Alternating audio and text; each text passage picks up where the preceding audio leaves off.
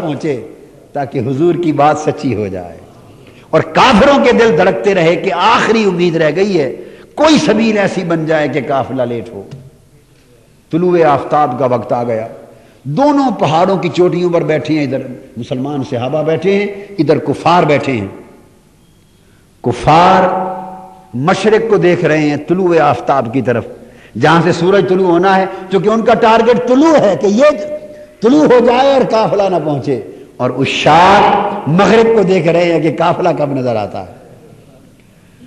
अब सातों के मुताबिक तुलु आफ्ताब का वक्त हो गया। तुलु आफ्ताब का वक्त हो गया और काफिला ना पहुँचा।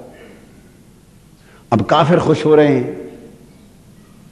उधर ये इत्तेफाक हुआ कि काफिले को कोई काम पड़ गया और जिस रफ्तार से वो आ रहा था, उसमें कई घंटे और कई पहर का वक्फा आ गया। उसने पहुँचना उसी वक्त पर था, मगर घंटों का वक्फा आ गया। इधर तुलु आफ्ताब का वक्त आका अलैहिस्सलाम की ज़ुबान ने मुकर फरमा दिया। अब कुफार परेशान हैं कि हर रोज सूरज जिस वक्त निकलता था, वो वक्त गुजर गया, घंटे गुजर गए, सूरज नहीं निकल रहा। अल्लाह पाक ने हुक्म दिया, सूरज को कि सूरज, मेरे महबूब की ज़ुबान है तुलु आफ्ताब का वक्त उस तीसरे काफिले के लिए मुकर कर दिया है। जब तक काफिला वादी मक्का में कदम न रखे, तुम्हें तुलू की इजाज़त नहीं है।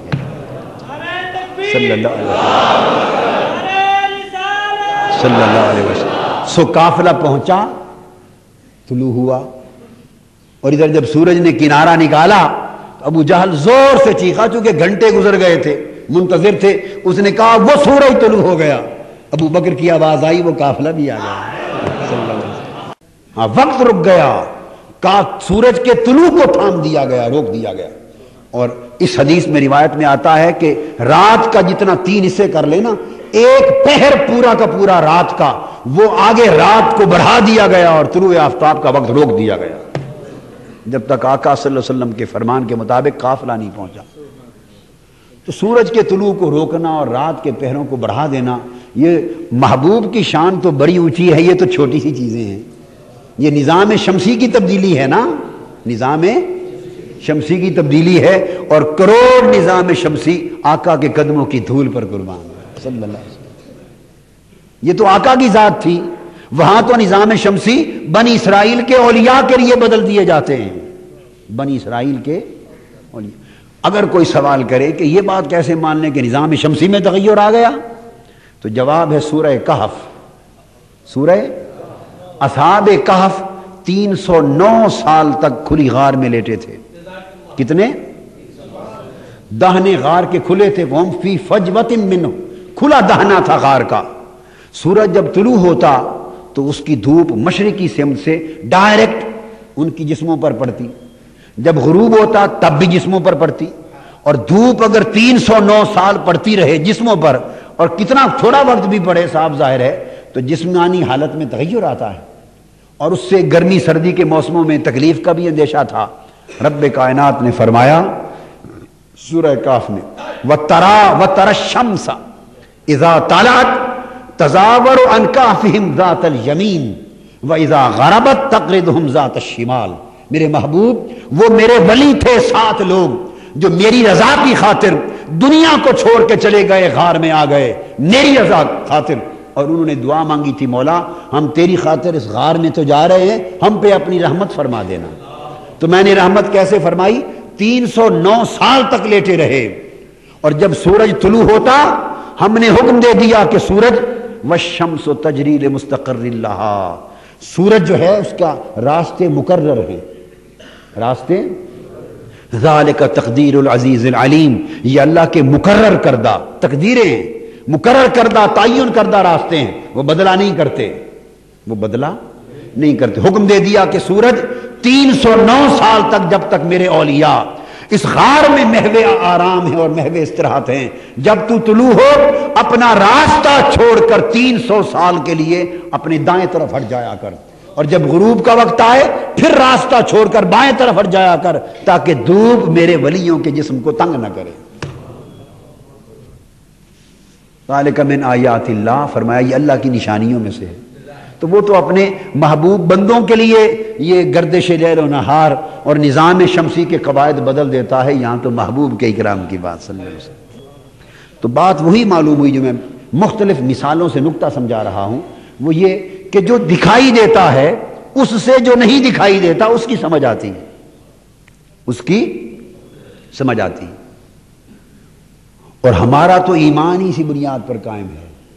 हमारा तो ईमान ही इसी बुनियाद पर कायम है, इसलिए कि हम तो उस रब को मानते हैं जो दिखाई नहीं देता। उस रब को मानते हैं जो दिखाई नहीं देता। और उस न दिखाई देने वाले रब को कैसे माना? उस महबूब को देखकर जिसे उसने दिखाया। लोगों ने कहा कि हम तो रब को देख नहीं सकते तो माने कैसे? उसने फरमाया, मुझे नहीं देख सकते तो मेरे महबूब को तो देखते हो। इसे देख लो, अगर ये पसंद आ जाए तो मुझे भी मान लेना। ये पसंद आ जाए, मुझे भी मान लेना। इसमें कोई नक्स और ऐब ना हो तो मेरा रब होना भी मान लेना। तो जो दिखाई दे रहे हैं पैगंबर, उन्हें दिखाकर और जो रब खुद दिखाई नहीं दे रहा, उसको मनवाया जा रहा है। ये तो कायदा है। तो पलट कर फिर उसी नुकते पर आ गए कि जो अमसला हैं, तमसीलात, ये दिल्लो बही कसीरम व यहदी बही कसीरा, अल्लाह मिसालें देता है। और दुनिया में रहने वालों की और दुनियावी निज़ामों की मिसालें देता है क्योंकि हर निज़ाम में उसूल वहादत कार फरमा है यही उसूल क़यामत के दिन भी होगा। मगर अब फ़र्क हो जाएगा। क़यामत के दिन फरमाया, वो सिलसिला नूर जो मैंने दुनिया में बपा किया है, ये क़यामत के दिन जन्नत में दाखिले के वक्त तक बपा रहेगा। कायम। और जिनको दुनिया में मंबा नूर बना दिया गया था, मरकज नूर बना दिया गया था। और जिनको दुनिया में नूर का तकसीम करने वाला और नूर हिदायत का बांटने वाला बना दिया गया था, कयामत के दिन भी नूर उनके साथ ही रहेगा। नूर जुदा नहीं होगा।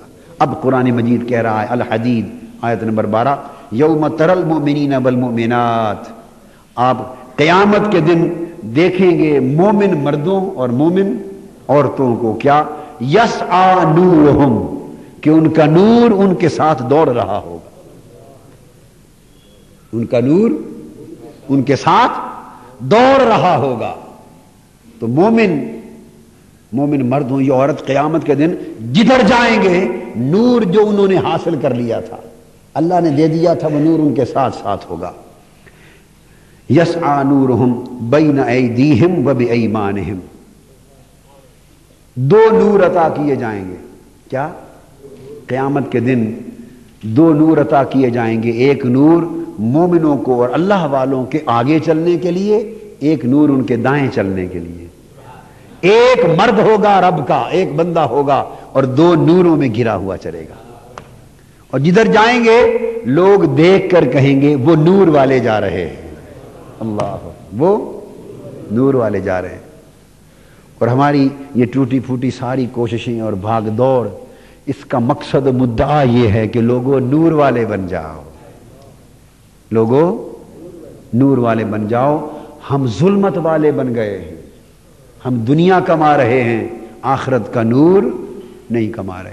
ये दुनिया आखरत में नूर नहीं देगी। माल दौलत, जाहो मनसब, ओहदे, कोठियाँ, मकान, कारें ये सब जो कुछ ज़रूरत के मुताबिक लाना और इनका हिरस करना और इनको जमा करते चले जाना, बड़ा ज़मीन आसमान का फ़र्क है। ज़रूरत के लिए इस्तेमाल में लाओगे, ये नूर में रुकावट नहीं बनेंगे। इनके हिरस में और जमा करने में मुबतला हो जाएँगे, जो ईमान का नूर रत्ती बराबर मिल गया है, उसको भी बुझा देंगे। हम दुनिया की जुल्मतों की कमाई में लग गए, आखरत के नूर की कमाई को छोड़ दिया। नूर वाले बन जाओ। और ये ज़िंदगी तो चंद रोजा ज़िंदगी है। क्या खबर? अचानक ये चराग ज़िंदगी किस वक्त बुझ जाए? और सुबह शाम हज़ार चराग इस ज़मीन पर बुझते हम देखते हैं। सुबह शाम हज़ारों चराग देखते हैं, मगर इंसान है जलूमन जहूला। जालिम भी है, जाहिल भी है। हर रोज आँखों के सामने चराग बुझता, देखता है, मगर अपने चराग की इस बात यही ख्याल करता है कि शायद मेरा नहीं बुझेगा। मेरा? और वो लम्हा आ जाता है, इसी गफलत में जब उसका अपना भी बुझ जाता है। उसे फिर कब्र की मनोमट्टी के नीचे दाप करा रहे होते हैं। हर आदमी बुझा के आ रहा होता है, मगर इसी घुमंड में है कि शायद मेरा तो अभी नहीं बुझेगा। उस शैतान ने ऐसे वसवसे डाल दिए। ऐसे गुरूर में ऐसे धोखे में मुबतला कर दिया है। तो नूर की कमाई करें। तो फरमाया, क़यामत के दिन हर मोमिन को दो नूर मिलेंगे।